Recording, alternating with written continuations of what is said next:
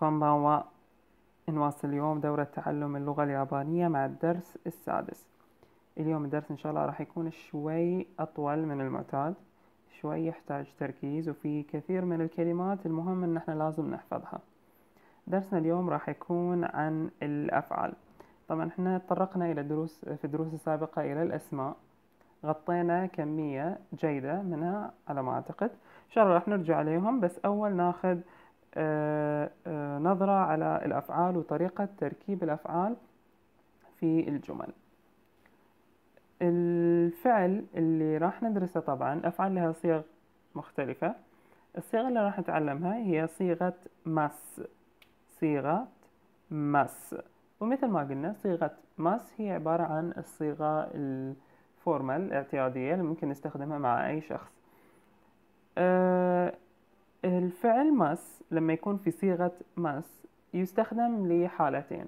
الحالة الأولى حق نوصف فعل يحدث في المضارع يعني بشكل مستمر every day أو لفعل سوف يحدث في المستقبل. هاي الاستخدام يكون لل هاي الفعل عفوا يكون لكلا الاستخدامين.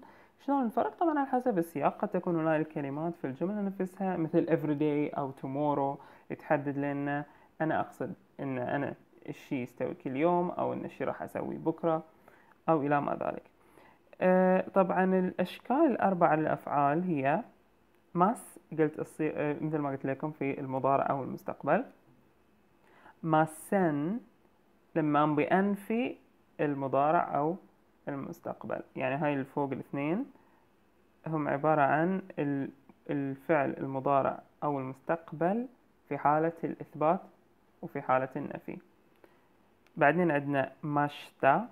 مشتا في الماضي. بس في الماضي بالإثبات. أي فعلت.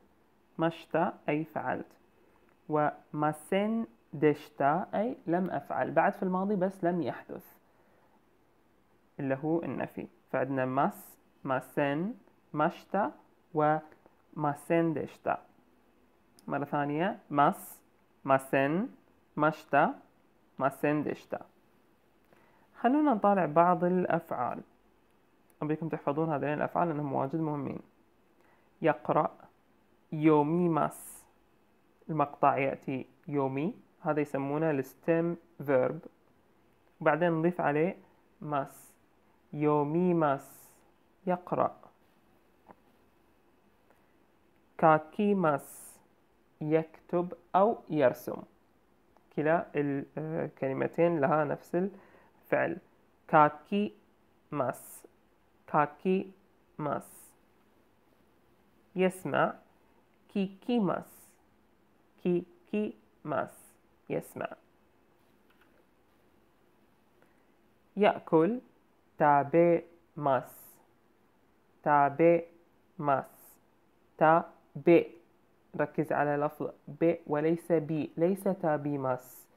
食べます. أي يأكل. يشرب.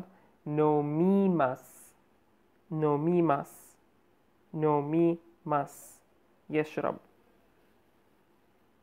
يفعل. します. وهاي الفعل طبعا ممكن استخدامه ويا أكثر ويا أشياء كثيرة يعني.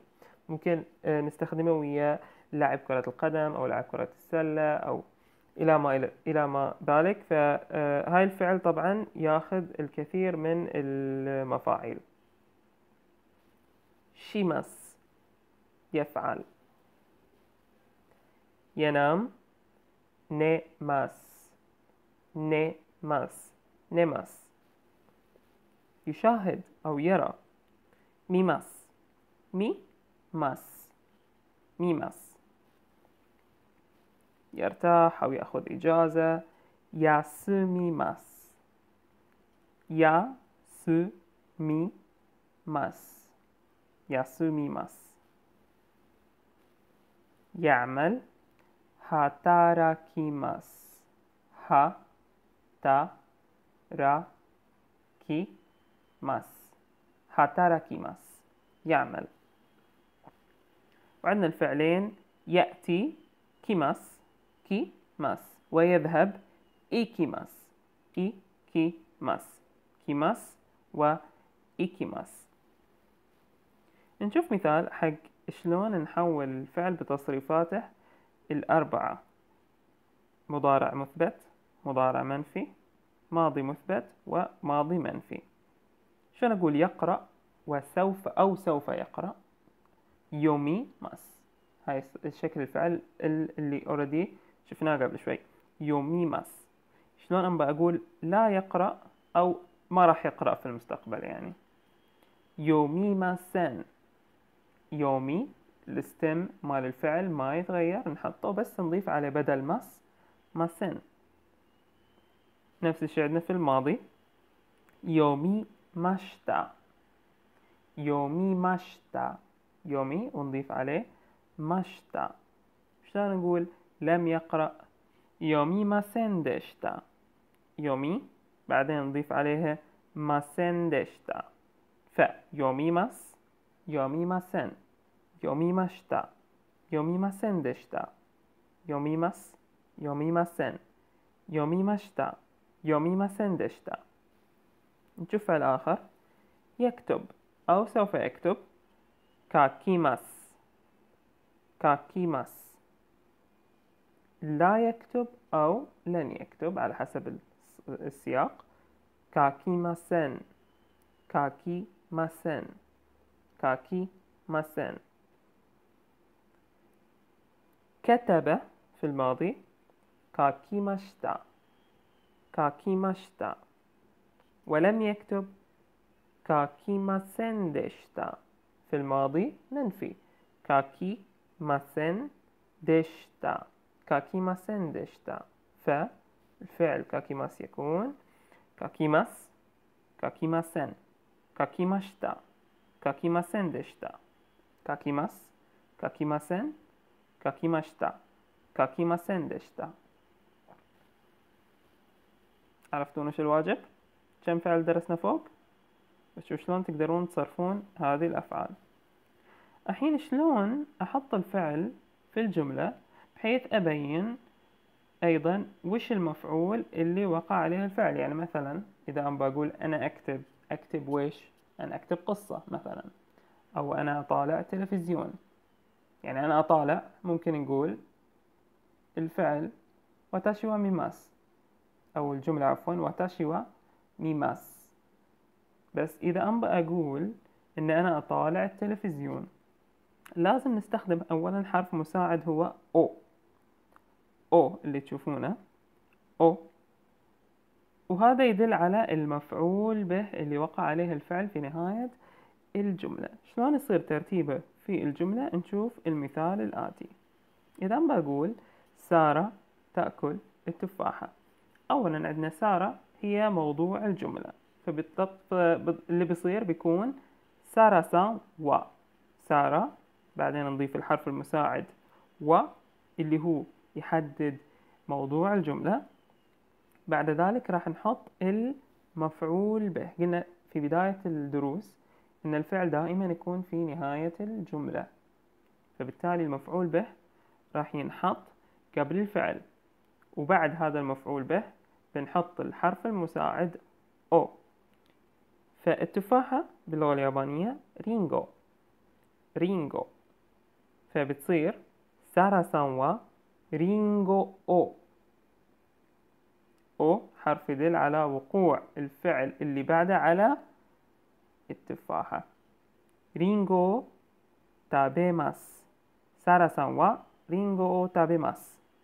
サラさん رينجو أو تابيماس. أي سارة تأكل التفاحة أو سوف تأكل التفاحة.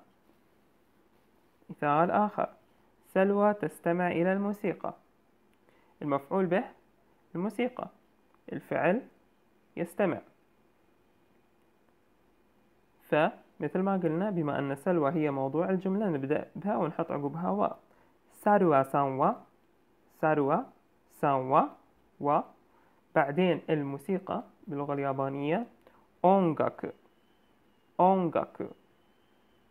عقب 音楽 نحط الحرف を. بعدين نحط الفعل يسمع اللي هو 聞きます. فتصير الجملة サラさんは 音楽 聞きます. サラさんは 音楽 聞きます. مثال ثالث. قاسم يشرب الحليب. أعتقد صارت ال ال النمط حق الجمل واضح. ال ال يجي أول شيء ال subject بعدين الحرف は بعدين المفعول به بعدين الحرف を بعدين الفعل في نهاية الجملة. فالجملة بتكون طبعا الحليب هو جيو جيو نيو فتصير الجملة カシムさんは قاسم 牛乳 حليب を 飲みます يشرب. カシムさんは 牛乳 飲みます.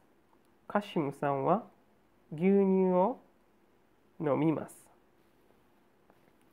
إذا جينا بننفي الجملة مثل ما تعلمنا قلنا الفعل يتحول من ます إلى ません. فإذا بقول أنا أنا هنا ال subject مال الجملة. لا أقرأ الكتاب. تذكرون الكتاب هو 本 فتصير الجملة 私 は 本 を 読みません 私 は 本 読みません واتاشي wa هون يوميماسن أه طبعا تعلمنا الحرف أو يستخدم حق الأفعال أه يستخدم حق الأفعال اللي تقع على المفاعيل بحيث أنه أه تأثر فيها. إذا كان المفعول به مكان أو وجهة يعني أنا بروح إلى المكان الفلاني الحرف المساعد يختلف. ما نستخدم الحرف أو. نستخدم الحرف إ أو ني غالبا يستخدمون. طبعا كل الحرفين صحيحين. A رسمية أكثر. A.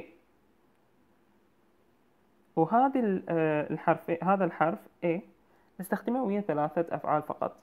يعني ثلاثة أفعال فقط اللي نستخدم وياها الحرف へ اللي هو يحدد الوجهة اللي هم مثل ما تعلمنا في البداية. يذهب 行きます يأتي 来ます والفعل الثالث ما درسناه بس أذكر لكم 帰ります اللي هو يعود من المكان الفلاني. ف إحنا بس اللي بقول لكم وقت من نستخدم يذ هذين الأفعال والوجهة نستخدم هذا الحرف. A مثال بسيط. أختي تذهب إلى الدكان. أختي إيموتو. طبعا إيموتو هي الأخت الصغيرة كلمة حق الأخت اللي أصغر مني. وقت أقول إيموتو ما يحتاج أقول 私 の 妹. مثل ما تعلمنا في الدرس اللي طاف شلون ندمج الأسماء مع بعض. إذا بقول أختي الصغيرة المفروض أقول 私 の 妹. طبعا مو معناته إن لما أقول كذي الجملة خاطئة. بالعكس صحيحة لكن مو ضروري إن أقول 私 の 妹 لأن وقت أقول أنا 妹 هاي الكلمة أقصد بها أختي أنا صغيرة. وقت انبي أقول أخت فلان يعني مو أختي أنا أخت شخص آخر أقول 妹さん لازم أضيف كلمة さん عادة يعني هاي بشكل آه عام. آه ف 妹 أو أختي هي شو اسمه ال subject مال الجملة. فنقول 妹 و بعدين قال لي يجي المفعول به. المفعول به هو الدكان والدكان باللغة اليابانية ميسا ميسا. فالجملة تصير 妹 は 店 へ 行きます. 妹 は 店 へ 行きます. الجزء الثاني من الواجب راح أطلب منكم ترجمون ثلاث جمل. قرأت في الماضي كتاب المدرسة. هنت كتاب المدرسة. اسمين نربطهم بالحرف نو نعرف كتاب؟ نعرف مدرسة؟ ما أدري تعرفونها أو لا بس آه تقدرون تحصلونها بسهولة. قرأت في الماضي فنستخدم مشتا لن نكتب درس اليوم. أليس كذلك؟ ما بعطيكم هنت على هذه. لم يشاهد أحمد مباراة كرة القدم. أحمد هو السبجكت في الجملة. لم يشاهد أي ماضي منفي فتصير ما سندشتا في نهاية الجملة. وبعدين عندنا مباراة كرة القدم. عبارة عن أيضا اسمين مرتبطين ببعض. كرة القدم أعطيكم هنت هي سكا. سكا. مباراة ابحثوا عنها. ملاحظة أخيرة. أه طبعا إحنا لا نزال نكتب بالروماجي اللي هي الحروف الرومانية. أه بس لو تشوفون الجمل أه بالهيراغانا. راح نلاحظ اختلافات في استخدام بعض الحروف. يعني مثلا الحرف و اللي أنا أقصد فيه الحرف المساعد اللي يحدد السبجكت مال الجملة. طبعا هنالك حرف اسمه و في الهيراغانا اليابانية. اللي تشوفونه المشخوط عليه تحت بالأخضر. هذا هو شكل الحرف و.